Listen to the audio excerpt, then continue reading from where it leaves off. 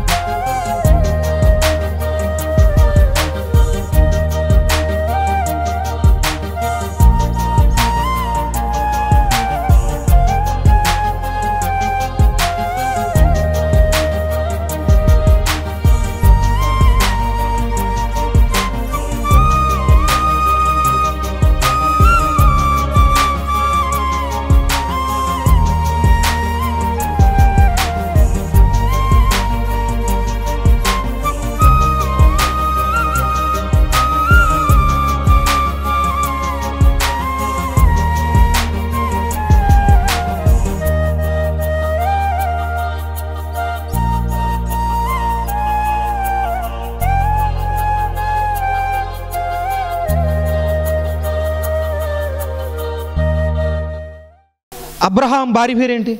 Sarah. So ఇద్దరికి పది సంవత్సరాల డిఫరెన్స్ ఉంది. మొత్తం మీద పెళ్ళి అయిపోయింది చాలా కాలం పిల్లలు లేరు. చాలా కాలం వెయిట్ చేశారు. దేవుడు కనికరించాడు. నిండు వృద్ధాప్యంలో మనల్ని ఎత్తుకోవాల్సిన వయసులో కొడుకుని ఎత్తుకున్నాడంట. ఎవరిని ఎత్తుకున్నాడు? వంద సంవత్సరాల వయసులో కుమారుడు పుట్టాడు. అతని పేరే ఎసాకు పుట్టిన తర్వాత మొత్తం మీద అతను పాలు విడిచినప్పుడు అన్నప్రాసం చేశాడు. అన్నప్రాసం చేసినప్పుడు గొప్ప విందు చేయించాడట. ఏం చేయించాడండి? గొప్ప విందు చేయించాడు. అద్భుతంగా విందు చేయించాడు. అద్భుతంగా విందు విందు చేసి భోజనాలు పెట్టాడు అంతా చేశాడు. మనసులో లోపల పడుకుని హ్యాపీగా దేవుడు అద్భుతమైన కార్యం చేశాడని అబ్రహాము షారా తలంచుకుంటున్నారు. తలంచుకుంటున్న ఈ టైంలో దేవుడు అబ్రహాను పిలిచాడు. నాయనా అబ్రహమా అని పిలిచేసరికి చిత్తం ప్రవ్వా ఏంటి చెప్పు అని అంటే ఏం లేదు నాయన ఇప్పుడు సంతోషంగా ఉన్నా కదా ఓ పని చెయ్యి. నీకు కుమారుని ఇచ్చాను కదా ఇసాక్ని తీసుకొచ్చి మోరియా దేశానికి వచ్చి ఆ మోరియా పర్వతం మీద నాకు బలిచ్చి అని అన్నాడు. అనగానే అబ్రహం ఏమన్నాడు? చిత్తం ప్రవ్వా అని అన్నాడు. ఏమన్నాడండి? అని అన్నాడు. అలా ఉండిపోయాడా? జనరల్ మనమైతే ఏం చేస్తాం? అలా స్టక్ అయిపోయి ఉంటాం. వంద సంవత్సరాల వయసు. ఇప్పుడు లేక లేక కొడుకు పుట్టాడు. ఈయన వచ్చి ఇచ్చేయమన్నాడు ఇట్టని స్టక్ అయిపోతాడు. అలా బొమ్మలాగా ఉండిపోలే. చిత్తం ప్రభు అన్నాడు అంతే. తెల్లారి కట్టుకున్నాడు. గాడిదికి అన్నీ కట్టుకున్నాడు. పనులు సమకూర్చాడు. కట్టెలు సమకూర్చాడు. బలిపీఠం అక్కడ కట్టడానికి అన్నీ సమకూర్చుకున్నాడు. కొడుకుని ఎక్కించుకున్నాడు పనులు ఎక్కించుకున్నాడు నిప్పు పట్టుకున్నాడు. అన్నీ సిద్ధం చేసుకున్నాడు. సిద్ధం చేసుకుని మూడు దినాల ప్రయాణం. మూడు రోజులు కూడా ప్రయాణమై వెళ్ళిపోతున్నాడు. వెళ్ళిపోతుండగా మౌర్య పర్వతం దగ్గరికి మూడు రోజుల తర్వాత మౌర్య పర్వతం దగ్గరికి వెళ్ళిపోయాడు. వెళ్ళిపోయిన తర్వాత ఇప్పుడు మోరియా పర్వతం పైకి ఎక్కాలి. వీళ్ళ కింద ఉన్నారు పని వాళ్ళతో చెప్పాడు రే బాబు మీరు పని చేయండి. ఈ పర్వతం కింద ఉండండి. నేను నా కొడుకు వెళ్ళి బలి అర్పించి మళ్ళీ ఇద్దరం కిందకు వచ్చేస్తాం అని అన్నాడు. ఏమన్నాడు? ఇద్దరు వస్తారా? ఎంతమంది రావాలి? దేవుడు ఏం చెప్పాడు? మీరు ఇద్దరు వెళ్ళండి అక్కడ రండి అని చెప్పాడు దేవుడు. అదేగా దేవుడు చెప్పింది. కానీ అబ్రహం మాట అంటున్నాడు. మేము ఇద్దరు వెళ్తాం మేము ఇద్దరు వస్తామని చెప్పాడు. అదే విశ్వాసానికి సూచన. అదేంటండి? విశ్వాసానికి సూచన. అంటే ఎంత అద్భుతమైన మాట చెప్పగలిగాడంటే ఖచ్చితంగా ఇద్దరం వెనకొస్తాం వస్తాం అనేది ఏమి ఎవరిలో ఉంది? ఉంది. ఇప్పుడు కొడుకు అడుగుతున్నాడు డాడీ వీళ్ళందరూ ఇక్కడ పెట్టేసో సరే మన ఇద్దరం వెళ్తున్నాం కదా నువ్వేమో బలి అర్పించాలంటున్నావు దేవుడు బలి ఇవ్వమని అంటున్నావు కట్లు ఉన్నాయి నిప్పు ఉంది అన్నీ బాగున్నాయి కదా డాడీ మరి ఏంటి గొర్రె పిల్ల గట్ట ఏం లేదు గొర్రె లేదు మేక లేదు పొట్టేలు లేదు ఏం లేదు ఏంటి? అని అడిగాడు. అని అడిగాడు. అడిగితే అప్పుడు ఒక చక్కని మాట అన్నాడు. చదువుదాం ఒకసారి. ఎనిమిదో వచ్చిన చదవండి. అబ్రహాము నా కుమారుడా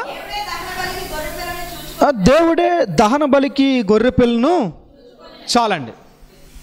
చాలండి ఇంకెలా చూద్దాం.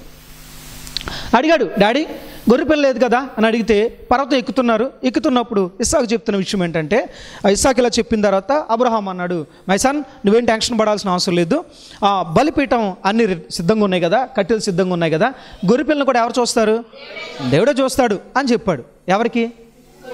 కొడుక్కి.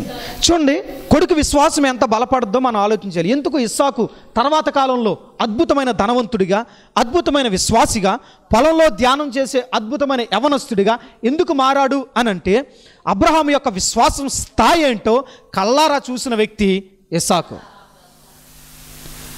నీ విశ్వాస స్థాయి ఏంటో నీ బిడ్డలు చూస్తే వాళ్ళు విశ్వాసులుగా మారతారు. నీ స్థాయి ఏంటో నీ బ్రతికేంటో నీ ఆత్మీయ జీవితం ఏంటో నీ పిల్లలకి అర్థం కాకపోతే వాళ్ళు దిగజారిపోయిన స్థితిలోనే ఉంటారు. తండ్రిని బట్టే పిల్లలు ఉంటారు. తండ్రిని బట్టే ఉంటారు. ఇప్పుడు అంజూరపు చెట్టు వేసామనుకోండి అంజూరపు చెట్టుకి నిమ్మకాయలు కాయు. ఏ కాయలు కాస్తాయి? ఏ కాయలు కాస్తాయి? అంజూరపు కాయలే కాస్తాయి. అర్థమవుతుందా? నువ్వు ఆత్మీయుడు అయితే నీకు పుట్టే పిల్లలు కూడా ఆత్మీయులుగానే ఉంటారు. ఉండట్లేదంటే అర్థం ఏంటంటే లోపం ఎవరిలో ఉంది? అని అర్థం. సరే ఇప్పుడు ఇస్సాకు పది సంవత్సరాల వయసు వచ్చి ఉండదు బహుశా. అతను అనుకుని ఉంటాడు కదా నడుస్తున్నాడంటే అర్థం ఏంటి? ఓ పది సంవత్సరాలు వచ్చి ఉంటాయి బహుశా. ఇప్పుడు ఇస్సాక్ ఏమనుకుంటాడు మనసులోను? ఏంటి మా డాడీ? గొర్రెపిల్ల చూసుకుంటాడు అంటున్నాడు. మూడు రోజులు ప్రయాణం చేసావు. మాతో ఏం రాలా? గొర్రెపిల్ల రాలా? పొట్టేళ్ళు రాలా? ఏమీ రాలేదు. ఈ పైకి వెళ్ళాక ఎక్కడి నుంచి వస్తుంది? అని అనుకుని ఉండొచ్చు బహుశా. చిన్నపిల్లాడు కదా. ఎవరు? ఇస్సాకు. సరే పైకి వెళ్ళిపోయారు పైకి వెళ్ళిపోయిన తర్వాత చక్కగా ఒక బలిపీఠం కట్టాడు. ఎత్తుగా బలిపీఠం కట్టి కట్లన్నీ పేర్చేశాడట ఏం పేర్చాడండి కట్లన్నీ పేర్చేశాడు దానికి ముందు అతను చెప్పాడు ఎహోవాయే చూసుకొన్ను. ఎవరు చూసుకుంటారట? అని అన్నాడు. అన్న తర్వాత సరే విషయం ఏంటనంటే అక్కడికి వెళ్ళిన తర్వాత కట్లు పేర్చేశాడు నిప్పు సిద్ధంగా ఉంది. నిప్పు సిద్ధంగా ఉన్న తర్వాత ఆ, చేతులు కట్టేసాడట ఎవరి? బంధించేశాడు. ఇప్పుడు చేయాల్సిన పని ఏంటంటే దహన బలి అర్పించడం ఏంటంటే ఆ బలిపీఠం మీద తల పెడతారు. ముందు తల కట్ చేయాలి. కట్ చేసిన తర్వాత అది పట్టుకెళ్ళి కట్టెల మీద పాడేసి నిప్పెట్టాలి. ఇది బలికున్న సూచన బలికొన్నే పరిస్థితులు. సరే చేతులు వెనక కట్టేశాడు కదా తల బలిపీఠం మీద పెట్టాడు అతను పడుకోబెట్టేయడట ఎవరిని? ఆ పది సంవత్సరాలు అంటే ఎంత ఉంటాయి? మన ఈ పిల్లలందరూ ఉన్నారు కదా ఈ పిల్లలందరూ పది సంవత్సరాలు లోపేళ్ళు కదా ఆ వయసు ఉంటుంది బహుశా. ఇప్పుడు పైకి లేచిపోయి ఏం డాడీ? నన్ను కట్టేసేవేంటి? కట్ల మీద పడుకోబెట్టేవేంటి? చంపేద్దాం అనుకుంటున్నావా? అని అన్నాడా. అన్నాడా? మీ పిల్లలకి చెప్పు చూడండి ఒకసారి. వింటారా? వింటారా? చూడండి ఇస్సాకు ఎంత ఆత్మీయుడో మనం ఆలోచన చేయాలి. ఇస్సాకు చిన్న వయసే పది సంవత్సరాల బాల్డే. కానీ తనకు అర్థమైంది విషయం. మా డాడీ ఎవరిని బలి ఇవ్వడానికి సిద్ధంగా ఉన్నాడు? ఫిక్స్ అయిపోయాడు ఇంకా. ఎందుకనంటే చేతులు కట్టేసి కట్ల మీద పడుకోబెట్టాడంటే అర్థం ఏంటనంటే ఫినిష్ అయిపోయింది నా లైఫ్ అనుకున్నాడు. పారిపోవడానికి ట్రై చేశాడా? ఇస్సాకు ఎంత ఆత్మీయుడు మనం ఆలోచన చేస్తే చిన్న పిల్లాడైనా వాడికి ఉన్న జ్ఞానం బహుశా ఈరోజు మన ఎవరికీ లేదేమో. పది సంవత్సరాల బాల్య ప్రాయంలో అతను అనుకున్నాడట నా తండ్రి ఆత్మీయుడు నా తండ్రి బలిస్తే నా తండ్రి నన్నే మొక్కుగా కోరుకుంటే నా దేవుడు నన్నే బలిగా కోరుకుంటే నా తండ్రికి నేను ఆటంకము నా దేవునికి బలైపోవడానికి సిద్ధమే అని అనుకున్నాడట. ఎంత వయసు అండి తన జీవితాన్నే త్యాగం చేయడానికి తన సమర్పణం ఎంత అద్భుతమైన సమర్పణ ఒక పది సంవత్సరాల బాలుడుకున్న సమర్పణ ఈ రోజున క్రైస్తవులుగా మనకు లేదంటే అతిశయోక్తి కాదేమో. ఆ సమర్పణ మనకు ఉంటుందా? ప్రాణాల్ని తెగించడానికి ఉన్న విశ్వాసం ఎక్కడ? పొట్ట కూటి కోసం పరుగులు పెడుతున్న మన విశ్వాస స్థాయి ఎక్కడ? ఎంత ఆత్మీయుడు కదా ఇస్సాకు? కదా? అలా పడుకోబెట్టాడు. చూడండి అబ్రహం మనసు చూస్తే గుండె తరించుకుపోద్ది కదా? తరుకుపోద్దా తరుకుపోదా మన పిల్లలకి చిన్న గాయం తగిలితే వెంటనే కళ్ళంటి నీళ్ళు వస్తాయి రావా? వస్తాయి రావా? ఏడ్ చేస్తాం కదా? విపరీతంగా ఏడుస్తాం. విపరీతంగా కోపపడతాం. అంతేకాదు మీ పిల్లలకి ఏదైనా జరిగింది అనుకోండి లేదా అక్కడి వరకు ఎందుకు ఒకవేళ ఆడపిల్లలు ఉన్నారనుకోండి పుట్టింట్లో భర్త పుట్టాడు అనుకోండి వెళ్ళిపోతా కదా కత్తి వేసుకుని వెళ్ళిపోతా గొడవ కొంతమంది. వాస్తవం కదా? ఎందుకు వెళ్ళిపోతారు? ఆ ప్రేమ. అలాంటిది. అద్భుతమైన ప్రేమ పిల్లల మీద ఉంటే తల్లిదండ్రులకి. చూడండి అబ్రహాము తన చేతులతో లేక లేక పుట్టిన కుమారుణ్ణి కత్తితో నరికేయాలి. ఒక్క వేటుతో నరికేయాలి. ఏ వేటుతోనట? ఒకే ఒక్క వేటుతో నరికేయాలి. చేతులు వస్తాయా? చేతులు వస్తాయా? అబ్రహాంకి వచ్చినాయి మరి. అబ్రహాంకి? వచ్చాయి. అబ్రహాంకి వచ్చాయి.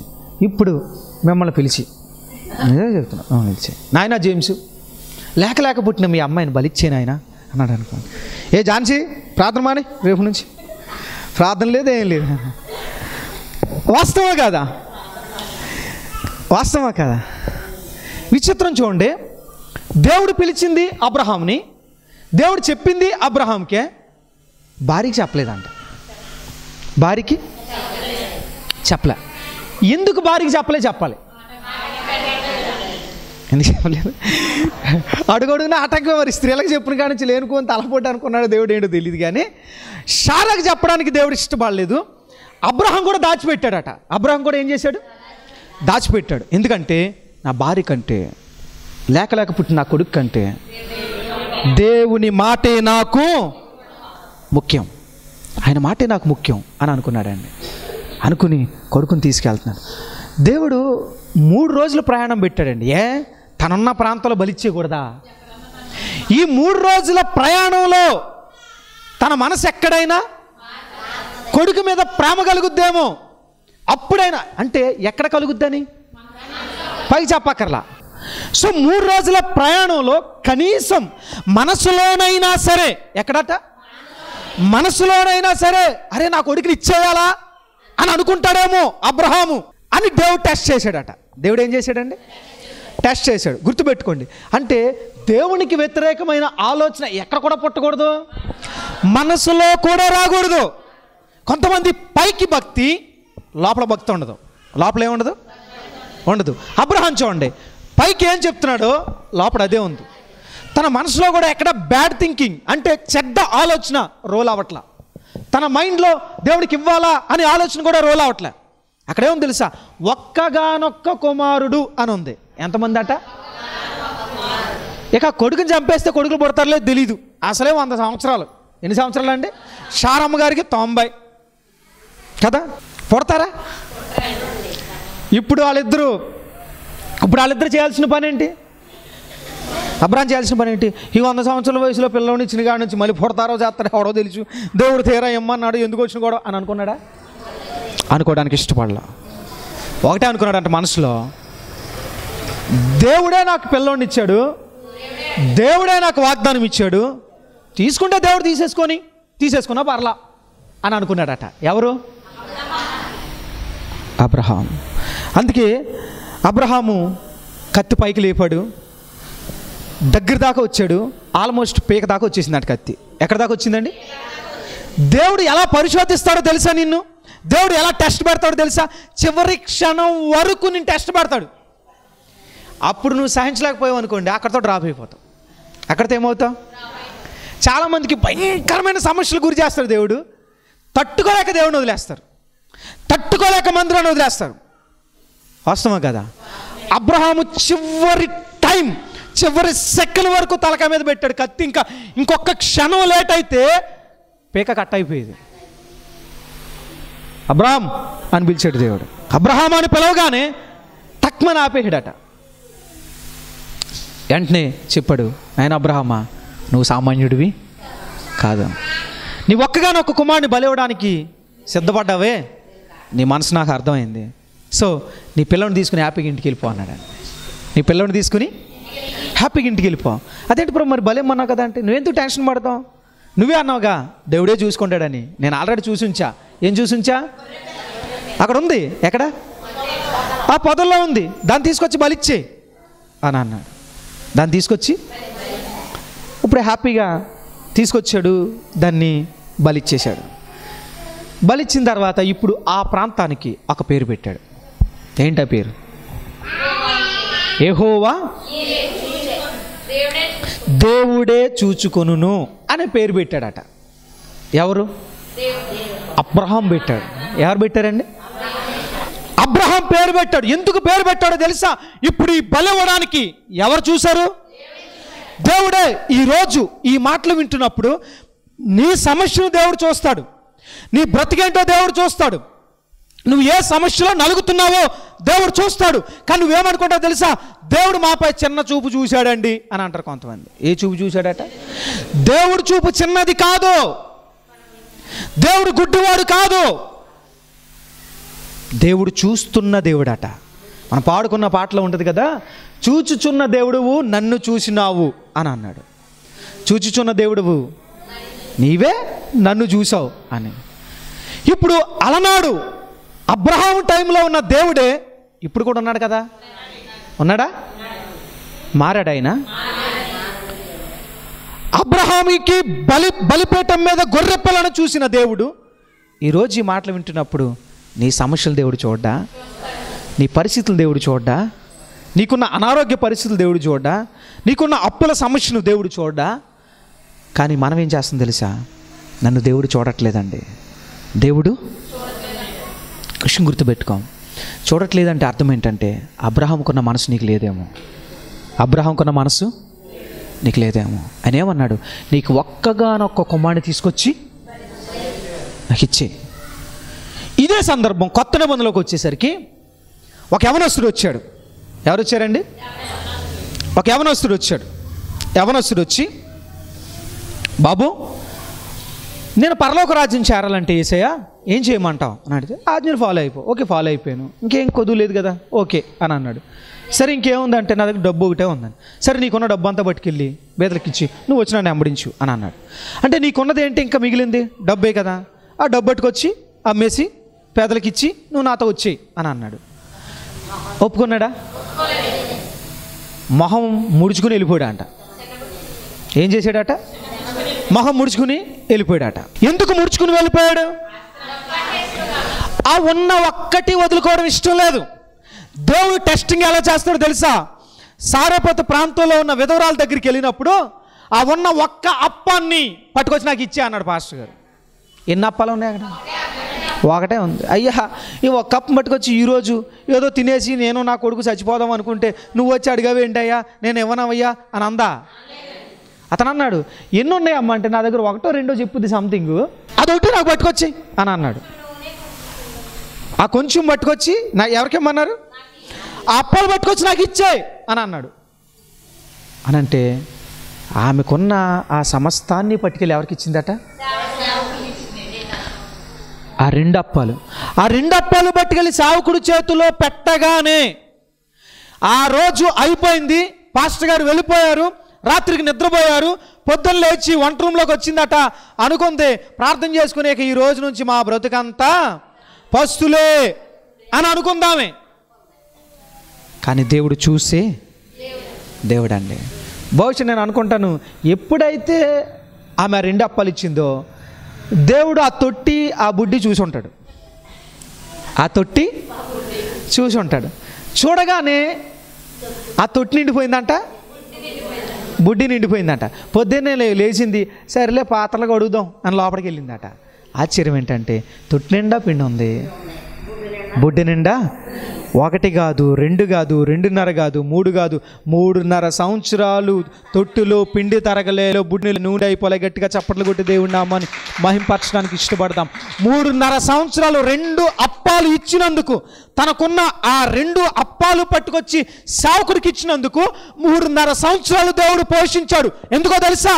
దేవుడు అడిగేది ఏమడుగుతాడు తెలుసా? నీకున్నది నాకు ఇచ్చే నీకున్న ఒక్క కొడుకుని నాకు ఇచ్చే అని అన్నాడు.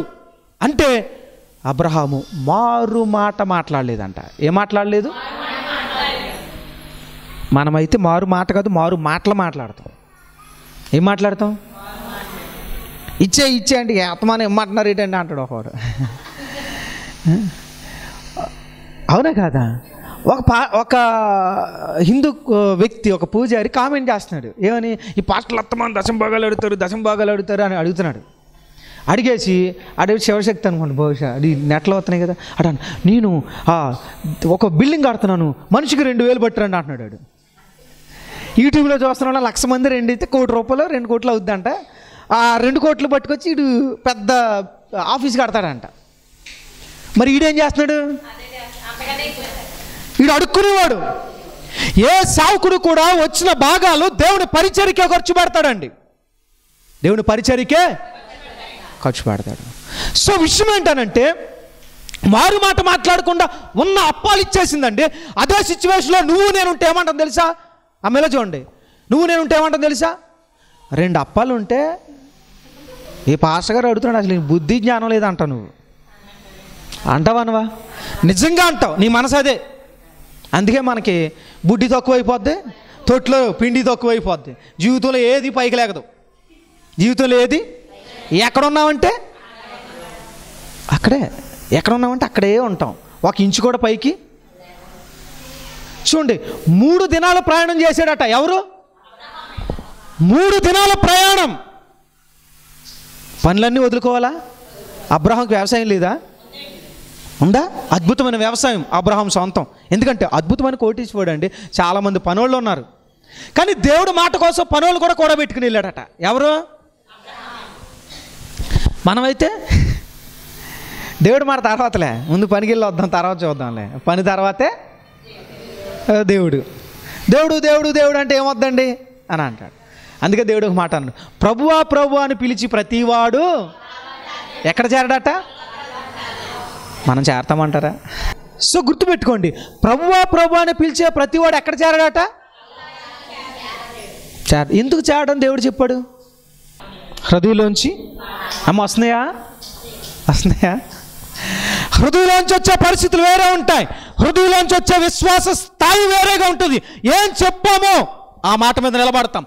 అబ్రహాం ఏ చెప్పాడు? ఏ తీర్మానం చేసుకున్నాడు? ఏ మాట ప్రభుకి ఇచ్చాడో? మూడు దినాల ప్రయాణం చేసినా తన హృదయం మారలా? తన ఆలోచన మారలా? తన మైండ్ సెట్ మారలా? ఏ తీర్మానం ఇంట్లో చేసుకున్నాడో?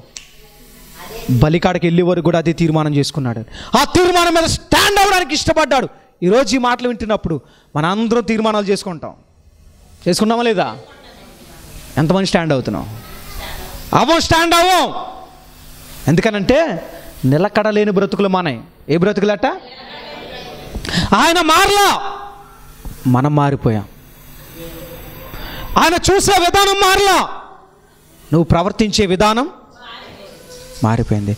ఆయన చూసే దేవుడు. నీ సమస్య ఏంటి ఆయన చూడ్డా? నువ్వు ఎంత కష్టపడుతున్నావు ఆయన చూడ్డా? దేవుడి కొరకు ఎంత నిలబడుతున్నావో ఆయన చూడ్డా? నువ్వు ఎంత పిల్లల పట్ల నలిగిపోతున్నావో ఎంత అప్పుల సమస్యలో నలిగిపోతున్నావో పిల్లల కుటుంబాలు సరిలేక ఎలా నలిగిపోతున్నావో సరైన పని లేక సరైన ఉద్యోగం లేక సరైన వ్యాపారం లేక తినడానికి తిండి లేని పరిస్థితిలో ఉంటున్నావో లేదో ఆయన చూడ్డా? మరి ఎందుకు టెన్షన్ పడుతున్నావు? ఆయన చూసే దేవుడు అండి ఆయన గుడ్డివాడు కాదండి. ఆయన బొమ్మ కాదు. ఆయన విగ్రహం కాదు. జీవము కలిగిన మనం ఆరాధించే దేవుడు దేవం జీవం కలిగిన దేవుడు అండి అందుకే ఆయన ఆరాధించేవారు ఆత్మతోనూ అంటే సత్యంతో అంటే యథార్థంగా ఆరాధించాలంట. ఎలా ఆరాధించాలి? దేవుడు స్థుతి స్థుతిస్తున్నామంటే గొప్ప కాదు. ఫ్యాక్ట్గా ఉండాలి. యథార్థంగా స్థుతించకపోతే నువ్వు చేసే స్థుతి ఆరాధన వేస్టే కదా. ఈరోజు ఈ మాటలు వింటున్నప్పుడు అబ్రహాం యొక్క విశ్వాసం అబ్రహాం యొక్క విశ్వాసం ఎవరిలోకి వచ్చింది? ఎందుకు వచ్చింది? ఎందుకు వచ్చింది? నీ విశ్వాస స్థాయి ఏంటో నీ కుటుంబం చూడాలి. నీ విశ్వాస స్థాయి ఏంటో నీ సంఘలోని వాళ్ళు చూడాలి. నీ విశ్వాసం యొక్క స్థాయి ఏంటో నీ చుట్టుపక్కల ఉన్న వాళ్ళు చూడాలి. నీ విశ్వాసం యొక్క స్థాయి ఏంటో నీ గ్రామంలో వాళ్ళు చూడగలగాలి. నీ విశ్వాసం యొక్క స్థాయి ఏంటో నీ చుట్టుపక్కలకి నువ్వు వ్యాపించగలగాలి. మన స్థాయి దాటట్లేదంటే అర్థం ఏంటంటే మనలో సాక్ష్యం లేదు. లేక లేక ఒకే కుమారుని పట్టుకొచ్చి నాకు ఇచ్చే అని అంటే అది సాధ్యమేనా? ఆ రెండు అప్పాలు పట్టుకొచ్చి నాకు ఇచ్చే అంటే ఇవ్వడం సాధ్యమేనా? ఈరోజు కూడి వచ్చినప్పుడు చాలామంది పనులు చేసుకునే వాళ్ళు ఉన్నారు. నీ పిల్లలకి నీకు తినడానికి తినలేదు ఈరోజు కూలి పనికి వెళ్ళావు ఒక రెండు వందలు వచ్చింది. ఆ రెండు వందలకి ఎంతో కొంత భీమా వస్తాయి. ఎన్నో కొన్ని కూరగాయలు వచ్చాయి. ఇప్పుడు ఒక సేవకుని దేవుడు పంపించాడు. నన్ను కావచ్చు వేరే వాళ్ళని కావచ్చు లేదా దేవుడే డైరెక్ట్గా వచ్చి మాట్లాడవచ్చు ఇదిగో ఈ రెండు వందలు పట్టుకెళ్ళి ఆ మందులో కానుకేసి అని ఒక స్వరం నీకు వినిపించింది అని అనుకుందాం. వేసే అంత స్థాయి మనకుంటుందా? లేదా ఆ రెండు వందలు పట్టుకెళ్ళి ఆ రోడ్డు పక్కన ఒక అడుక్కునే వాళ్ళు ఉన్నారు వాళ్ళకి భోజనం లేదు. నువ్వు పట్టుకెళ్ళి వాళ్ళకి పెట్టే అని అన్నాడు దేవుడు. అన్నాడు దేవుడు. ఇవ్వగలమా? ఇవ్వగలమా? ఇవ్వగలమా? ఇచ్చే స్థాయి మనకు ఉండగలిగితే మనం ఎవరి పిల్లలేం? అబ్రహం పిల్లలమే. దేవుని పరిచర్య కంటే దేవుని కంటే ఏది ఎక్కువగా మనం ఇష్టపడడానికి వీలేదు అబ్రహం మొదటి స్థానాన్ని ఎవరికి ఇచ్చాడు? ఎవరికి ఇచ్చాడమ్మా దేవుడికే ఇచ్చాడు.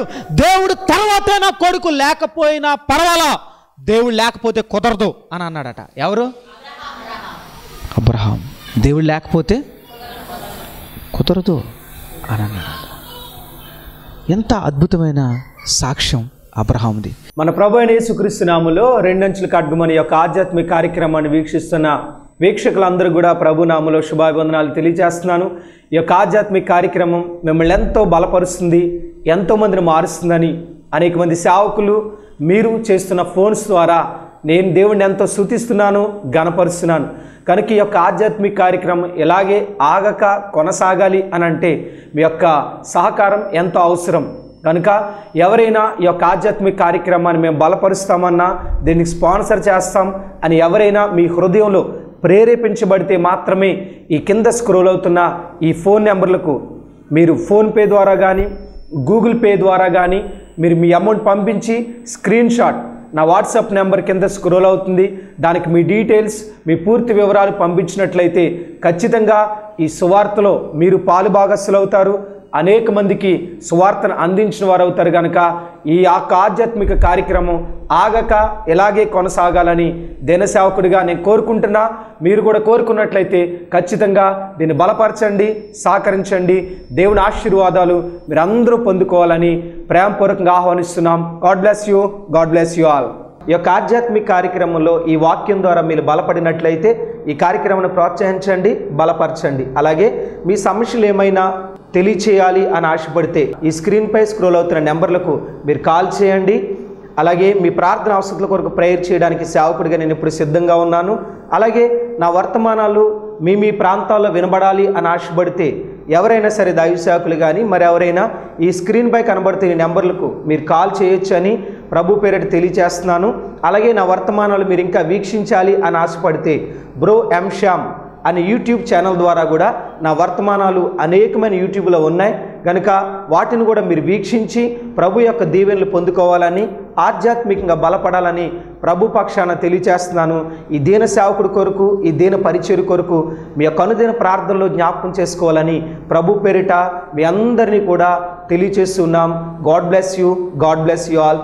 దేవుడు మిమ్మల్ని దీవించునుగాక ఆమె మా అడ్రస్ బేతేలు ప్రార్థనా మందిరం ఇందిరా కాలనీ. జీడిపిక్కల ఫ్యాక్టరీ ఎదురుగా దొండపూడి రోడ్ గోపాలపురం.